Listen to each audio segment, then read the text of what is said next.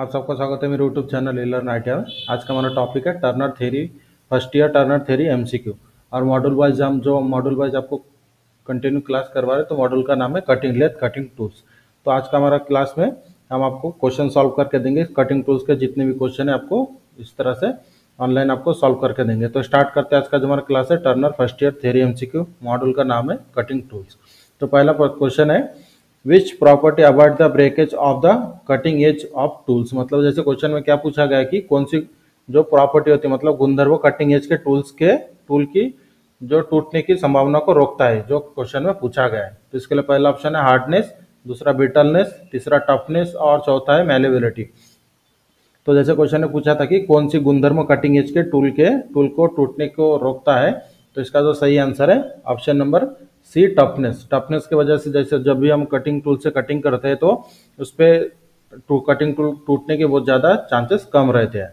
Next question which is the example of ferrous tool material ferrous tool material का उदाहरण कौन सा है? निम्नलिखित में से। तो इसके लिए पहला ऑप्शन है हाई स्पीड स्टील दूसरा है स्टेलाइट तीसरा डायमंड और चौथा है सीरामिक्स तो जैसे क्वेश्चन में क्या पूछा गया था कि निम्नलिखित में से कौन सा एक टूल मटेरियल है जो नॉन जो फेरस टूल मटेरियल है? तो इसका सही आंसर है option number A, high speed steel. Next question what is the name of the types of tool तो स्क्रीन पर आपको टूल का डायग्राम दिखाया गया है तो ये कौन से टाइप का टूल है, ये हमें पहचानना है। तो इसके लिए पहला ऑप्शन है फेसिंग टूल दूसरा पार्टिंग ऑफ़ टूल तीसरा रफिंग टूल चौथा ऑप्शन है wide nose square turning tool तो जो क्वेश्चन ने पूछा था कि जो जैसे यहाँ पर आप देख सकते हैं कटिंग टूल को दिखाया गया है, ये हमारा जॉब है, ये हमारा कटिंग टूल है। तो ये कौन से टाइप का कटिंग टूल है, जो क्वेश्चन में पूछा था। तो इसका जो सही आंसर है option number D wide nose square turning tool square यहाँ पर आप देख सकते हैं हमारे स्क्वायर पूरा दिखाई दे रहा है, इसलिए इसका कटिंग टूल का नाम है square tool next question what is the property of tool material to resist sudden shock load मतलब जो क्वेश्चन में क्या पूछा गया है कि कटिंग टूल का भाग कौन सा गुणधर्म है जो अचानक पड़ने वाली लोड को सहन कर सकता है? तो इसके लिए पहला ऑप्शन है टफनेस दूसरा हार्डनेस तीसरा डक्टिलिटी और चौथा ऑप्शन है इलास्टिसिटी तो जैसे क्वेश्चन ने पूछा था कि कटिंग टूल का भाव कौन सा गुण है जो अचानक पड़ने वाले लोड को सहन कर सकता है? तो इसका आंसर है option number A toughness next question what is the name of the tool तो स्क्रीन पर यहाँ पर आप देख सकते हैं जो कटिंग टूल आपको दिखाया गया है। जैसे यहाँ पर हमारा जॉब है जो इंटरनल बोरिंग किया जा रहा है। अंदर वाला जो ये पोर्शन आपको दिखाई दे रहा है इस ऑपरेशन करने के लिए इस टूल का उपयोग किया गया तो ये टूल का नाम हमें पहचानना है। तो इसके लिए पहला ऑप्शन है बोरिंग टूल दूसरा कॉर्नर बोरिंग टूल तीसरा इंटरनल रिसेसिंग टूल और चौथा ऑप्शन इंटरनल थ्रेडिंग टूल तो जब भी हम कटिंग टूल को कोई भी डायग्राम के तरह डायग्राम से दिखाया जाता है कटिंग टूल को तो उस समय उसका ऑपरेशन भी साथ में दिखाया जाता है। तो यहाँ पर आप देख सकते हैं जो ऑपरेशन है ऑपरेशन के साथ में ही इसका ना कटिंग टूल का नाम जुड़ा होता है। तो इसका आंसर है option number C internal recessing tool क्योंकि ये जो आपको आप, दिखाई दे रहा है, जो ऑपरेशन किया जा रहा है तो ये इंटरनल रिसेसिंग है। और इंटरनल रिसेसिंग करने के लिए इंटरनल रिसेसिंग टूल का ही उपयोग किया जाता है। Next question what is the name of the tool तो स्क्रीन पर आपको कटिंग टूल दिखाया गया है। तो इस टूल का हमें नाम पहचानना है। जैसे सेम डायग्राम इसके पहले भी पूछा गया था। तो इसके लिए पहला ऑप्शन है, सिर्फ़ इस क्वेश्चन में जैसे इसके पहले के जो क्वेश्चन था सेम लेकिन उसका ऑप्शन और इसका ऑप्शन चेंजेस है। तो हमें पहचानना है कि इस कटिंग टूल को क्या कहा जाता है। इसके लिए पहला ऑप्शन है पार्टिंग ऑफ़ टूल दूसरा नाइफ एज टूल तीसरा crack tool crack turning tool और चौथा ऑप्शन है wide nose square turning tool. तो जैसे क्वेश्चन में पूछा गया था कि जो स्क्रीन पर दिखाया गया है कटिंग टूल है, इसका नाम क्या है? तो इसका सही आंसर है option number A, parting of tool. तो जैसे दोनों सेम डायग्राम थे, लेकिन इसमें जो आपको जो एरो का सहायता दिखाया एरो के सहायता से दिखाया गया है, इसके पहले के क्वेश्चन में एरो यहाँ पर नहीं था, साइड में दिखाया गया था। और यहाँ एरो अभी इस क्वेश्चन में सेंटर में दिखाया गया, इसलिए यह कटिंग टूल का नाम चेंज हो गया है। Next question. Which property of the cutting tool is the amount of hardness process by a material at normal temperature cutting tool की कौन सी गुणधर्म है, जिसमें सामान्य टेम्परेचर पर किसी मटेरियल की कठोरता की मात्रा होती है? इसके लिए पहला ऑप्शन है डक्टिलिटी दूसरा टफनेस तीसरा रेड हार्डनेस और चौथा ऑप्शन है कोल्ड हार्डनेस तो जो क्वेश्चन में पूछा गया था हमें कटिंग टूल की कौन सी गुणधर्म है, जिसमें सामान्य ताप पर किसी मटेरियल की कठोरता की मात्रा होती है तो इसका आंसर है option number D cold hardness next question which among the tool material belong the non metallic tool material कौन सी टूल मटेरियल नॉन मेटालिक से संबंधित है? निम्नलिखित में से जो क्वेश्चन में पूछा है।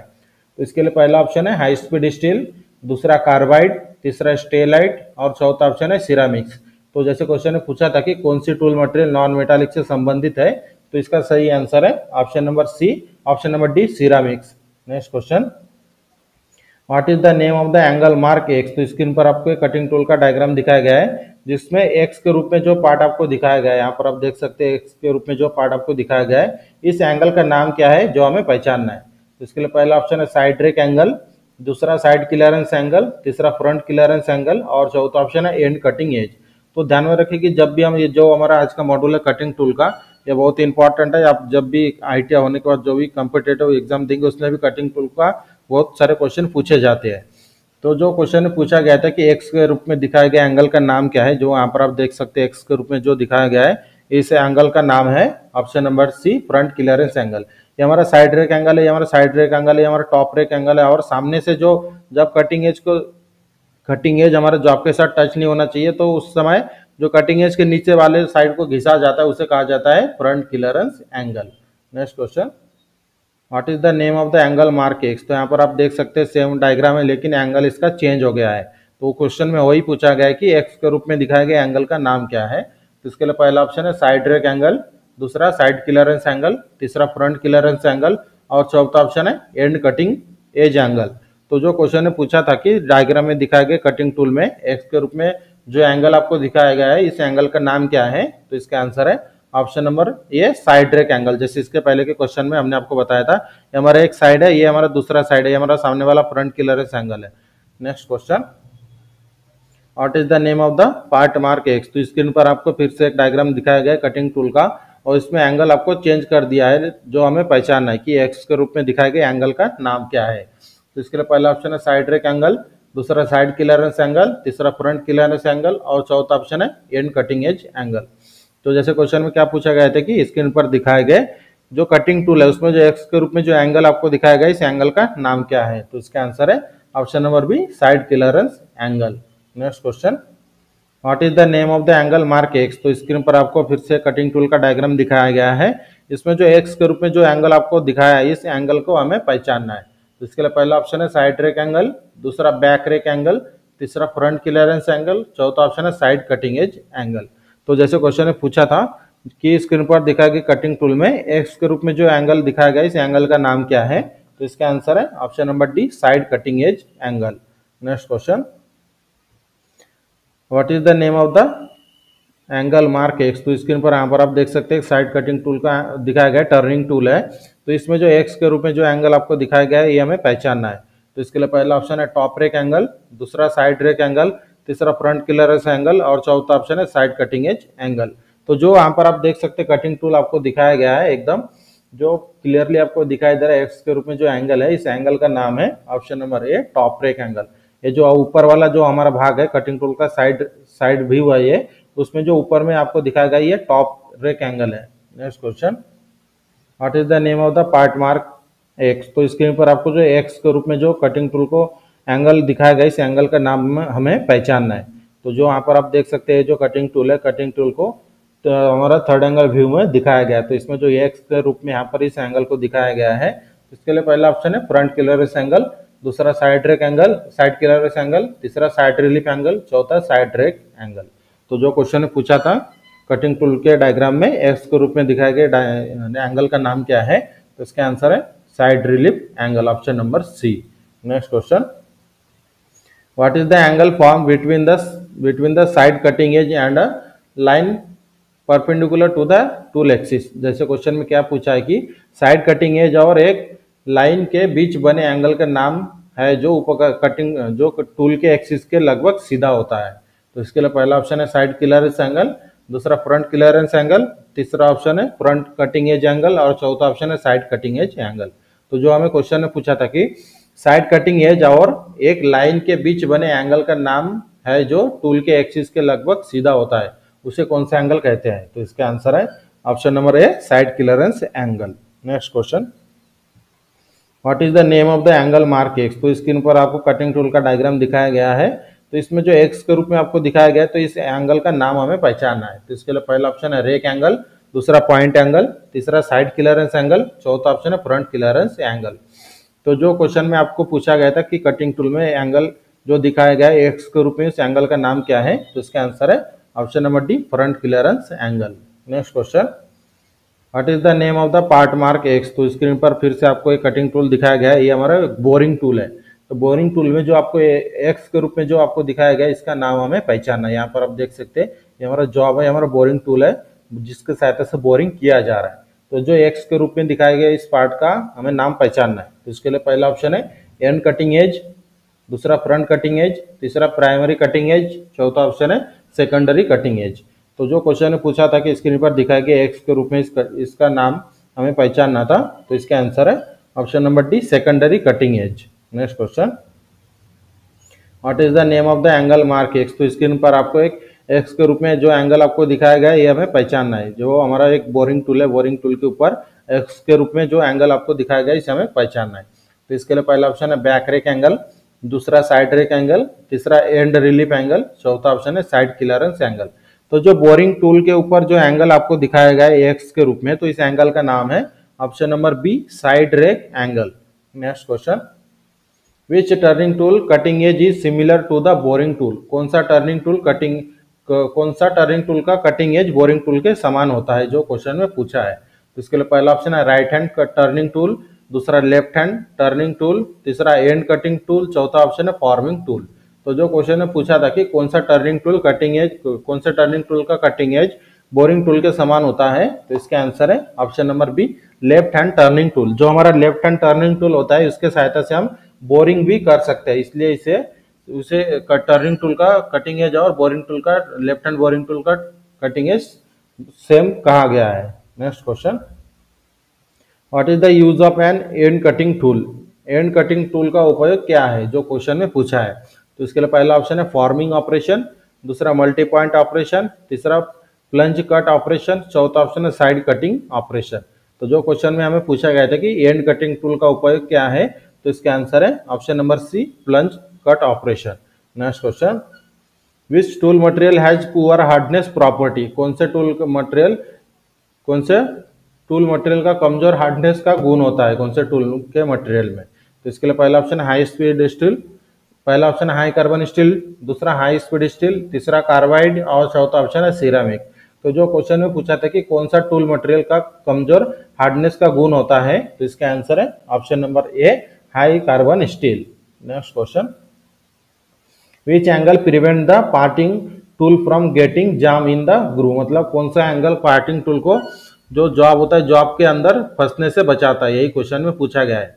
तो इसके लिए पहला ऑप्शन है रेक एंगल दूसरा क्लियरेंस एंगल तीसरा साइड रिलीफ एंगल और चौथा ऑप्शन है कटिंग एज एंगल तो जैसे क्वेश्चन में क्या पूछा था कि कौन सा एंगल पार्टिंग टूल को ग्रू में फंसने से रोकता है? तो इसका आंसर है option number C side relief angle side relief angle देने की वजह से जब हम पार्टिंग करते हैं तो जब जॉब के अंदर टूल जाता है तो उस समय फंसता नहीं है। Next question which angle control the geometry of chip formation कौन सा एंगल चिप निर्माण की जोमेट्री जोमेट्री को नियंत्रित करता है? तो इसके लिए पहला ऑप्शन है कटिंग एज एंगल दूसरा ऑप्शन है क्लियरेंस एंगल तीसरा रिलीफ एंगल चौथा है रेक एंगल तो जो क्वेश्चन में पूछा था, कौन सा एंगल चिप निर्माण की जोमेट्री को नियंत्रित करता है तो इसका आंसर है option number D rake angle next question what is the angle between the side of the cutting edge to the top face of the tool wise जैसे क्वेश्चन में क्या पूछा गया है कि चौड़ाई पर कटिंग एज के साइड और साइड और टूल के टॉप पृष्ठ के बीच कौन सा एंगल बनता है? तो इसके लिए पहला ऑप्शन है साइड रेक एंगल दूसरा बैक रेक एंगल तीसरा साइड क्लियरेंस एंगल चौथा ऑप्शन है साइड कटिंग एज एंगल तो जो क्वेश्चन में हमें पूछा गया था कि जो कटिंग टूल होता है कटिंग टूल के चौड़ाई पर कटिंग एज के साइड और टूल के टॉप के बीच कौन सा एंगल बनता है? तो इसका आंसर है option number A side rake angle next question why is the rake angle provided rake angle क्यों प्रदान किया जाता है? कटिंग टूल में यही हमें क्वेश्चन में पूछा है। तो इसके लिए पहला ऑप्शन है टू प्रिवेंट रबिंग एक्शन मतलब जो कटिंग टूल रबिंग मतलब घिसता है उसे रोकने के लिए दूसरा to strain the cutting tool मतलब कटिंग टूल को मज़बूत करने के लिए। तीसरा to permit clearance between tool and work मतलब कटिंग टूल और जॉब के बीच क्लियरेंस के अनुमति के लिए। चौथा ऑप्शन है to control the chip flow and geometry of chips मतलब चिप फ्लो और चिप्स की ज्योमेट्री को नियंत्रित करने के लिए। तो जैसे क्वेश्चन में पूछा था कि why is the rake angle provided मतलब कटिंग टूल में रेक एंगल क्यों प्रोवाइड किया जाते हैं? तो इसका जो सही आंसर है option number D to control the chip flow and geometry of chip मतलब चीप फ्लो और चिप की ज्योमेट्री को नियंत्रित करने के लिए। Next question what is the purpose of side clearance given on turning tool turning tool पर दिए गए साइड क्लियरेंस का उद्देश्य क्या होता है? तो इसके लिए पहला ऑप्शन है to control the chip flow मतलब चिप फ्लो को नियंत्रित करने के लिए। दूसरा टू इंक्रीज प्रोडक्शन मतलब उत्पादन बढ़ाने के लिए। तीसरा to increase the strength of the tool मतलब टूल की मजबूती बढ़ाने के लिए। और चौथा ऑप्शन है to prevent the tool from rubbing with work मतलब जॉब और टूल को रबिंग से रोकने के लिए मतलब घिसने से रोकने के लिए। तो इसका सही आंसर आता है। तो जैसे क्वेश्चन ने पूछा था कि टर्निंग टूल पर दिए गए साइड क्लियरेंस का उद्देश्य क्या है तो इसका आंसर है option number D to prevent the tool from rubbing with work मतलब जो कटिंग टूल होते हैं कटिंग टूल को जॉब के साथ घिसने से रोकने के लिए। Next question why is the side relief angle provided side relief angle क्यों प्रदान किया जाता है कटिंग टूल पर। इसके लिए पहला ऑप्शन है to prevent the tool from getting jam मतलब कटिंग टूल को जाम होने से बचाने के लिए। दूसरा to increase the strength of the tool मतलब टूल की मजबूती बढ़ाने के लिए। तीसरा ऑप्शन है टू इंक्रीज प्रोडक्शन मतलब उत्पादन बढ़ाने के लिए। और चौथा ऑप्शन है to control flow the to control the chip flow मतलब चिप फ्लो को नियंत्रित करने के लिए। तो जैसे क्वेश्चन ने पूछा था कि why is why is the side relief angle provided मतलब कटिंग टूल पर साइड रिलीफ एंगल क्यों प्रदान किए जाते हैं? तो इसका आंसर है option number A to prevent the tool from jam getting jam मतलब कटिंग टूल को जाम होने से बचाने के लिए। Next question what is the purpose of the angle mark X तो स्क्रीन पर आपको कटिंग टूल का डायग्राम दिखाया गया है। तो इसमें जो एक्स के रूप में जो एंगल आपको दिखाया गया है फोर्टीन डिग्री तो ये एंगल क्यों, इस एंगल का उद्देश्य क्या है, ये हमें पूछा गया है। जिसके लिए पहला ऑप्शन है to prevent rubbing of the tool मतलब कटिंग टूल को घिसने से रोकने के लिए। दूसरा to control chip and geometry of chip मतलब चिप और चिप की ज्योमेट्री को नियंत्रित करने के लिए। तीसरा ऑप्शन है to obtain orthogonal cutting edge मतलब ऑर्थोगोनल कटिंग एज प्राप्त करने के लिए। और चौथा ऑप्शन है preventing the tool from getting jam मतलब कटिंग टूल और जॉब के जॉब को जॉब में होने वाले जो जॉब में फंस जाते हैं उसे उससे बचने के लिए। तो जो क्वेश्चन में हमें पूछा था कि स्क्रीन पर दिखाए गए कटिंग टूल में जो 14 डिग्री दिखाया गया है एंगल इस एंगल का उद्देश्य क्या है? तो इसका आंसर है option number B to control chip and geometry of chip मतलब चिप और चिप की ज्योमेट्री को नियंत्रित करने के लिए। Next question what is the purpose of the angle mark X तो स्क्रीन पर आपको जो एंगल दिखाया गया है एक्स के रूप में इसे कहा जाता है फ्रंट क्लियरेंस एंगल तो जो फ्रंट क्लियरेंस एंगल जो कटिंग टूल पर दिया जाता है, इसका उद्देश्य क्या होता है, जो क्वेश्चन में पूछा है। इसके लिए पहला ऑप्शन है टू कंट्रोल चिप फ्लो मतलब चिप फ्लो को नियंत्रित करने के लिए। दूसरा कंट्रोल टूल ज्योमेट्री मतलब टूल की ज्योमेट्री को नियंत्रित करने के लिए। तीसरा ऑप्शन है prevent the rubbing of tool मतलब टूल को घिसने से रोकने के लिए। और चौथा ऑप्शन है prevent the tool from getting jam मतलब टूल को जाम होने से बचाने के लिए। तो जो हमें क्वेश्चन में पूछा था कि कटिंग टूल में जो एंगल दिया गया है फ्रंट क्लियरेंस एंगल एक्स के रूप में इसका पर्पज क्या है? तो इसका आंसर है option number C prevent the rubbing of the tool मतलब कटिंग टूल को घिसने से रोकने के लिए। Next question what is the name of the angle mark X तो स्क्रीन पर आपको एक बोरिंग टूल का डायग्राम दिखाया गया है। तो बोरिंग टूल के डायग्राम में जो एक्स के रूप में जो एंगल है, हमें पहचानना है। तो इसके लिए पहला ऑप्शन है साइड रेक एंगल दूसरा एंड रिलीफ एंगल तीसरा साइड क्लियरेंस एंगल चौथा ऑप्शन है एंड कटिंग एज एंगल तो जैसे क्वेश्चन ने पूछा था कि जो स्क्रीन पर आपको एक बोरिंग टूल का डायग्राम दिखाया है, इसमें जो एक्स ग्रुप में जो पार्ट है, इस एंगल का नाम क्या है? तो इसका आंसर है option number C side clearance angle next question what is the name of the angle mark X तो स्क्रीन पर आपको जो फिर से एक बोरिंग टूल का डायग्राम है, दिखाया है, और इसमें जो एक्स के रूप में एंगल है, ये हमें पहचानना है। तो इसके लिए पहला ऑप्शन है साइड रेक एंगल दूसरा फ्रंट क्लियरेंस एंगल तीसरा साइड क्लियरेंस एंगल चौथा ऑप्शन है एंड साइड क्लियरेंस एंगल तो जो बोरिंग टूल के ऊपर एक्स के रूप में जो एंगल दिखाया गया है तो इसका आंसर है option number D end side clearance angle next question why can carbide not be use as a solid bit carbide को सॉलिड बीट के रूप में क्यों उपयोग नहीं किया जा सकता है? तो इसके लिए पहला ऑप्शन है ड्यू टू इट्स डक्टिलिटी मतलब इसकी डक्टिलिटी के कारण। दूसरा, इसकी ब्रिटलिटी के कारण ब्रिटलनेस के कारण। तीसरा, इसके हार्डनेस के कारण। और चौथा ऑप्शन इसका कोल्ड हार्डनेस के कारण।